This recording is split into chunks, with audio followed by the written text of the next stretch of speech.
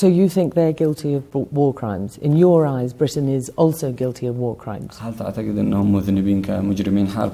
لا نحن لا نعتقد نحن آه، نؤمن انهم مشتركين اشتراك مباشر مجرمي حرب نعم Uh, yeah, he, he doesn't think so. He believes that they are uh, war crimes because they are, they are participating.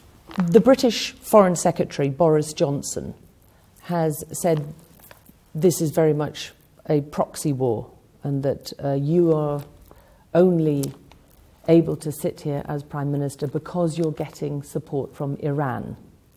وضعوا الغرب وضع ايران كفزاعه لدول الخليج Uh, the West, the Western, the Western countries has uh, picked up Iran as a, a, a thing to scare uh, Arabs. واؤكد اننا لا نتلقى من ايران لا دعم ولا سلاح ولا مال إلى هذه اللحظه I would like to assure you that we are not getting anything from Iran, neither uh, weapons, neither money, nothing, until this moment. لكنه عباره عن بروباغندا ليس الا يعني. It is just agenda, nothing more else.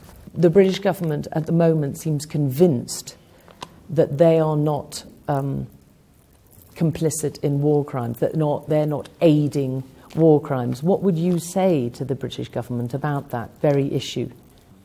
لا أنا أريد آه، يعني كل الساسه في بريطانيا وبالذات أصحاب القرار في الحكومة إنه آه، الجرائم التي ارتكبت في اليمن هي لم ترتكبها السعودية بمفردها السعودية نعم قررت لكن بدعم لوجستي من الولايات المتحده الامريكيه وأيضا بالسلاح البريطاني I would like to say to all politicians in Britain the crimes that have been committed here in Yemen uh, with the logistic support from United from United uh, from US and uh, uh, weapons from Kingdom uh, also